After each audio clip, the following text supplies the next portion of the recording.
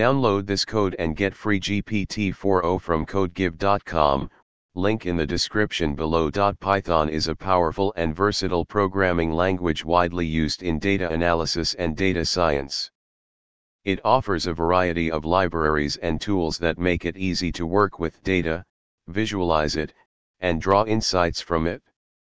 In this tutorial, we will cover the basics of programming with Python for data analysis. Hashtag hashtag hashtag 1. Install Python and required libraries. First, make sure you have Python installed on your computer. You can download Python from the official website, https colon slash slash www.python.org slash downloads.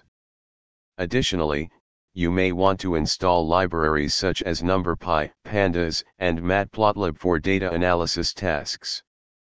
You can install these libraries using Python's package manager pip by running the following commands in your terminal.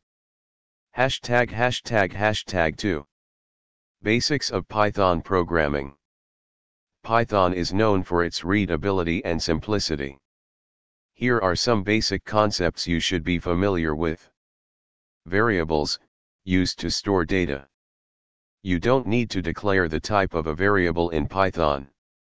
Data types, Python has several built-in data types like int, float, str, list, dict, tuple, etc. Control structures, includes if-else, for loops, while loops, etc. Functions, create reusable blocks of code using functions.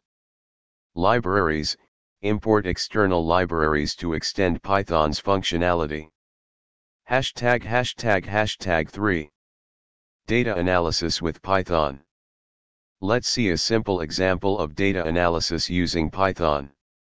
In this example, we will generate some random data, create a data frame, and plot it using Matplotlib.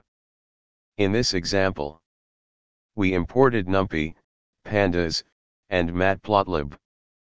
Generated random data for x and y using NumPy. Created a data frame using Pandas.